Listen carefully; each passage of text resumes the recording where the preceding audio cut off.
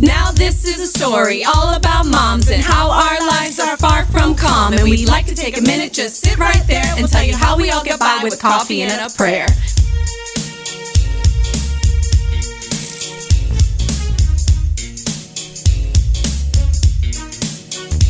In the hospital, they were born then raised. On the playground is where we spend most of our days.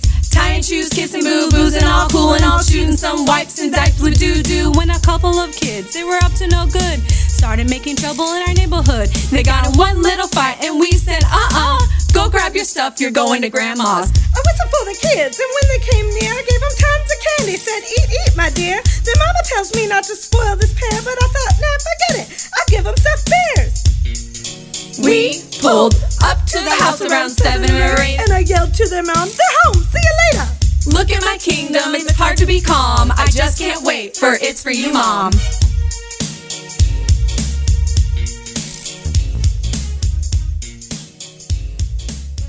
Hi everyone, my name is Casey Dragstedt and I'm Director of It's For You Mom here at Parkview.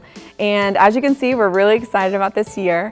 We are a moms group that is for all moms of all stages and ages, building relationships.